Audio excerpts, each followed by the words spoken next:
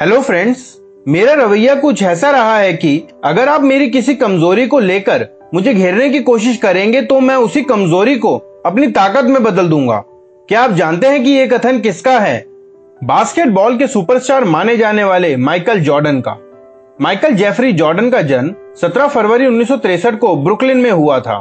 उनके पिता का नाम जेम्स आर जॉर्डन और माँ का नाम डेलोरिस जॉर्डन है। उनके पिता जेम्स इक्विपमेंट सुपरवाइजर थे और मदर एक बैंकर थी। जब माइकल छोटे थे, तभी उनका परिवार ब्रुकलिन से वेलिंगटन आ गया। अगर आपको ये वीडियो पसंद आए तो हमारे चैनल को सब्सक्राइब करना मत भूलना। उनके माता पिता बहुत ही मेहनती थे और घर को हमेशा अनुशासन में चलाते थे। उन्होंने माइकल को हमेशा ही कड़ी मेहनत करने की शिक्षा दी थी। पिता ने माइकल को हमेशा बताया कि जीवन में अनुशासन बहुत ज़रूरी है। जीवन में आगे बढ़ने के लिए माइकल हमेशा प्रयत्न करते थे। स्कूल में वे हमेशा बास्केटबॉल खेला करते थे। उनके अच्छे खेल की वजह से उन्हें कई सारे विश्वविद्यालयों से स्कॉलरशिप का ऑफ़र भी आया। मेहनत और सतत प्रयासों से वे दुनिया के मशहूर बास्केटबॉल खिलाड़ी बने। आइए जानते हैं कि कैसे वे अपने पेरेंट्स की टीचिंग्स को फॉलो करके एक फ़ेमस बास्केटबॉल प्लेयर बने। ये कहानी है उनके बचपन की। उनके पिता ने उन्हें अपने पास बुलाकर कहा, बेटा, मैं तुम्हें एक कपड़ा दे रहा हूँ। तुम उसे एक डॉलर में बेचकर मुझे दिखाओ। माइकल पिता की बात सुनकर इस सोच में पड़ गया कि इस फालतू के कपड़े को एक डॉलर में कौन खरीदेगा? अब बेचना तो था ही। सबसे पहले माइकल ने उस कपड़े को धोया। घर पर प्रेस नहीं थी तो उसने कपड़े के ऊपर कुछ वजनदार चीज़ें रख दी। इससे वह कपड़ा सीधा हो गया। फिर वह बाज़ार गया, कपड़े को बेचकर अपने पिता के पास पहुँचा। यह देखकर उनके पिता बहुत खुश हो गए। एक दिन फिर माइकल को उनके पिता ने एक कपड़ा दिया और कहा कि इसे दस डॉलर में बेचकर दिखाओ।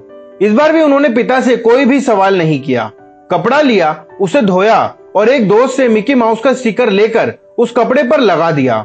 बाज़ार में गए और उसे दस डॉलर में बेच दिया। कई बार माइकल ने यह काम कर दिखाया। एक दिन उनके पिता ने पूछा कि, इतने दिनों में तुमने क्या सीखा? माइकल ने कहा, पिताजी, जहाँ इच्छा होती है, वहाँ जीत ज़रूर हासिल होती है। इसी शिक्षा से माइकल बास्केटबॉल खेल में सबसे बड़ा नाम बने। माइकल के पिता ने उसे बताया कि, कड़ी मेहनत ही हर सफलता की चाबी है। माइकल जॉर्डन जब हाई स्कूल में पढ़ाई कर रहे थे तो उन्होंने स्कूल की बास्केटबॉल टीम में भाग लेना चाहा, लेकिन वे असफल रहे। लेकिन उन्होंने हार नहीं मानी और पूरी लगन से कड़ी मेहनत करते रहे। उन्हें उनकी मेहनत का फल मिला और अगले साल उनका चयन स्कूल की बास्केटबॉल टीम में हो गया। यह माइकल की कड़ी मेहनत और लगन का ही नतीजा था कि स्कूल टीम की तरफ़ से खेलते हुए नॉर्थ कैरोलिना यूनिवर्सिटी की तरफ़ से उन्हें एक स्कॉलरशिप भी मिल गई। अपनी हाई स्कूल की पढ़ाई पूरी करने के बाद उन्होंने उन्नीस सौ इक्यासी में नॉर्थ कैरोलिना यूनिवर्सिटी में दाखिला ले लिया। कैरोलिना यूनिवर्सिटी की बास्केटबॉल टीम की तरफ़ से खेलते हुए पहले ही साल उन्नीस सौ बयासी में उन्हें Atlantic coast conference of the year title से नामित किया गया। टीम ने एसीसी चैंपियनशिप जीती और माइकल जॉर्डन ने विनिंग शॉट के रूप में जंप शॉट लगाते हुए नेशनल कॉलेजिएट एथलेटिक एसोसिएशन की चैंपियनशिप के लिए जॉर्ज टाउन यूनिवर्सिटी को हराया। द स्पोर्टिंग न्यूज़ ने माइकल जॉर्डन को अपने कॉलेज के दोनों साल में college player of the year नाम से सम्मानित किया। उन्नीस सौ चौरासी में माइकल जॉर्डन को अपने कॉलेज के तीसरे साल के बीच में ही छोड़ना पड़ा। इसके बाद उन्होंने नेशनल बास्केटबॉल एसोसिएशन, एनबीए को ज्वाइन कर लिया। एनबीए में खेलते हुए उन्नीस में शिकागो बुल्स टीम ने उन्हें चुन लिया। इस समय तक शिकागो बुल्स को एक हारी हुई टीम माना जाता था। लेकिन माइकल जॉर्डन ने खुद को साबित करते हुए एनबीए के उन्नीस पिचासी सीज़न में खेलते हुए शिकागो बुल्स को प्लेऑफ तक लेकर गए। उस सीज़न में माइकल ने 28.2 पॉइंट्स प्रति गेम बनाए। एनबीए के उस सीज़न में उनके प्रयासों के लिए माइकल को NBA rookie of the year award मिला और उन्हें ऑल स्टार गेम के लिए भी चुना गया। इसके अलावा उन्नीस सौ चौरासी में माइकल जॉर्डन ने यूएस बास्केटबॉल टीम का नेतृत्व करते हुए लॉस एंजलिस समर ओलंपिक्स खेला और उस वर्ष उनकी टीम ओलंपिक गोल्ड मेडल विजेता भी रही। एनबीए के अगले सीज़न उन्नीस सौ में शिकागो बुल्स की तरफ़ से ही खेलते हुए एक गेम के दौरान उनके बाएँ पैर में चोट लग गई, जिसकी वजह से वे सीज़न के चौसठ गेम नहीं खेल पाए। लेकिन इसके बावजूद उनकी टीम प्लेऑफ में जगह बनाने में कामयाब हो गई। और प्लेऑफ खेलों से पहले ही माइकल जॉर्डन भी अपनी चोट से उबरने में कामयाब हो गए। अपनी चोट से उबरने के बाद पहले ही प्लेऑफ गेम में उन्होंने अपना पूरा दमखम लगा दिया और पहले ही गेम में बॉस्टन सेल्टिक्स के खिलाफ खेलते हुए उनचास पॉइंट स्कोर किए, जबकि दूसरे गेम में चौसठ पॉइंट स्कोर किए, जो कि एनबीए प्लेऑफ के इतिहास में किसी भी खिलाड़ी द्वारा किसी भी गेम में किया गया सर्वश्रेष्ठ और रिकॉर्ड स्कोर था। हालाँकि सीज़न उन्नीस सौ में माइकल जॉर्डन की टीम शिकागो बुल्स ट्रॉफी जीतने में असफल रही और बॉस्टन सेल्टिक्स ने फाइनल पर कब्जा करते हुए एनबीए ट्रॉफी जीती। एनबीए के उन्नीस सौ सीज़न में माइकल जॉर्डन ने अपनी पूरी फॉर्म में खेलते हुए 3000 पॉइंट स्कोर किए। एनबीए के सीज़न में 3000 पॉइंट स्कोर करने वाले वे एकमात्र खिलाड़ी थे। हालाँकि उनकी team Chicago Bulls playoff game तक ही पहुँच पाई। बॉस्टन सेल्टिक्स इस बार भी एनबीए की विजेता रही। एनबीए के उन्नीस सौ सीज़न में माइकल जॉर्डन ने अपना बेहतरीन प्रदर्शन जारी रखा और इस सीज़न में उन्होंने मोस्ट वैल्यूएबल प्लेयर और defensive player of the year खिताब भी हासिल किया।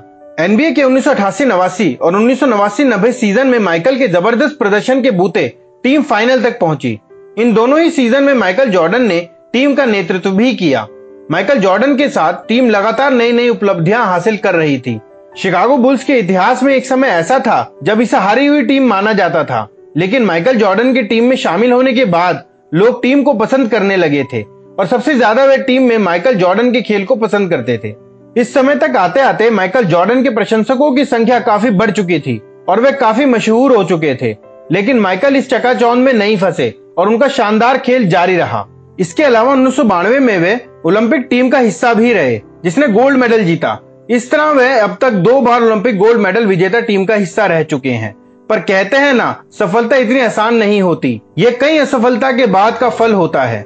माइकल की लाइफ मुश्किलों से भरी रही, क्योंकि उन्नीस सौ तिरानवे में माइकल को गैमलिंग करते देखा गया और उन्हें बास्केटबॉल से संन्यास लेना पड़ा, जिससे वह काफ़ी टूट चुके थे। फिर उनके पिता की हत्या हुई, जिसका रीजन भी गैमलिंग के कारण हुई दुश्मनी ही पता चला। इन सभी गलतियों से उन्होंने सीख ली और गैमलिंग छोड़ दी। बास्केटबॉल से संन्यास लेने के बाद उन्होंने शिकागो लीग बेसबॉल का कॉन्ट्रैक्ट भी साइन किया था। मतलब अगर बास्केटबॉल नहीं तो बेसबॉल ही सही, लेकिन वो रुकना नहीं चाहते थे। उन्नीस सौ में शिकागो बुल्स का बास्केटबॉल में परफॉर्मेंस अच्छा नहीं रहा, क्योंकि माइकल उस टीम का हिस्सा नहीं थे। लेकिन कुछ समय बाद माइकल ने फिर से बास्केटबॉल में एंट्री की और उन्नीस सौ सत्तानवे तक शिकागो बुल्स को टॉप लेवल से कभी नीचे नहीं आने दिया। और उनकी बेहतरीन वापसी ने हमें यही सिखाया कि सफलता ना ही रंग देखती है, ना ही रूप, और ना ही कद। इसे हर वह व्यक्ति हासिल कर सकता है जो कि इसके लिए मेहनत करता है। बस आपको खुद को साबित करने की ज़रूरत है, और जब आप ऐसा करते हैं, तब सफलता आपके कदम चूमती है। अगर आपको ये वीडियो पसंद आई तो हमारे चैनल को सब्सक्राइब कीजिए, और इस वीडियो को अपने फ्रेंड्स के साथ शेयर कीजिए, और कमेंट करके हमें बताइए कि नेक्स्ट वीडियो आपको किस टॉपिक पर चाहिए। Thank you.